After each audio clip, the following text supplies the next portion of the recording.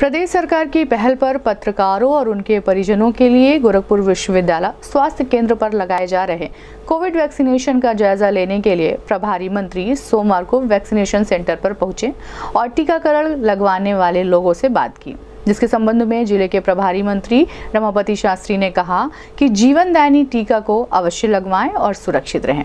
इस संबंध में गोरखपुर न्यूज़ से बात करते हुए ज़िले के प्रभारी मंत्री रमापति शास्त्री ने कहा।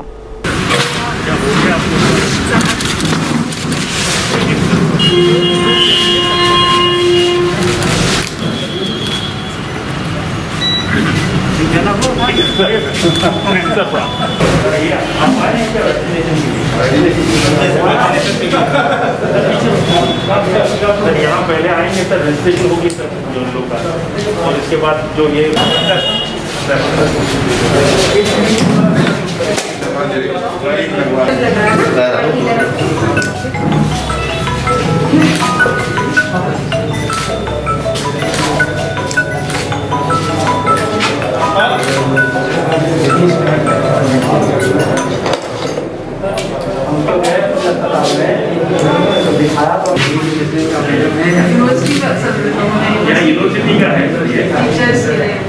मेनली सर टीचर्स का सर इस पे पत्रकारों में कितने सर एक दिन में कभी कभी 150 तक चला जाता मैक्सिमम कभी 60 कभी 70 देखिए। दो सौ के हिसाब से हम लोग रखेंगे सर वाई लेना दो सौ दे देते हैं। अधिकतर सर दो सौ तो खत्म हो जाता है।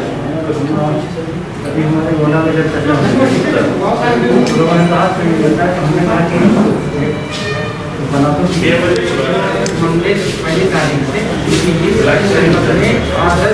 छोटो माइक मोबाइल माइक वही चैनल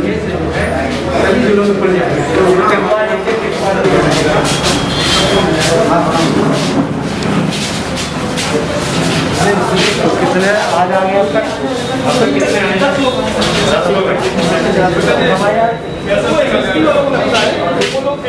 आने वाले हैं क्या? सशस्त्र सीमा बल वाले आने वाले हैं।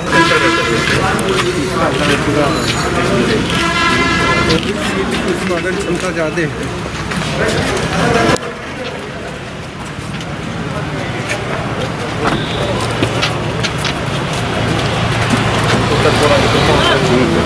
के बीच में सारे बच्चे बहुत अच्छे ढंग से हो रहा है, सारी व्यवस्था हो रही है। टीके की भी व्यवस्था पूरी है। आने जाने वालों की व्यवस्था भी है उनको सम्मान के साथ बिठाया जाता है व्यवस्था किया जाता है और इंजेक्शन लगाया जाता है। ये जीवनदायिनी इंजेक्शन सबको लगाना चाहिए, सबको आना चाहिए। आप सबसे भी आग्रह है, जो लोग नहीं आना चाहते उनको भी बुला करके करवाना चाहिए। और आप सबको भी मैं धन्यवाद देता हूँ कि इसका प्रचार प्रसार होना चाहिए। पॉजिटिव प्रचार होना चाहिए निगेटिव प्रचार नहीं होना चाहिए। बाबा जी के नेतृत्व में, उत्तर प्रदेश में पहली बार ऐसा है कि कोरोना का प्रभाव कम हुआ है। और गोरखपुर तो आप जान रहे हो खत्म होने वाला है जैसे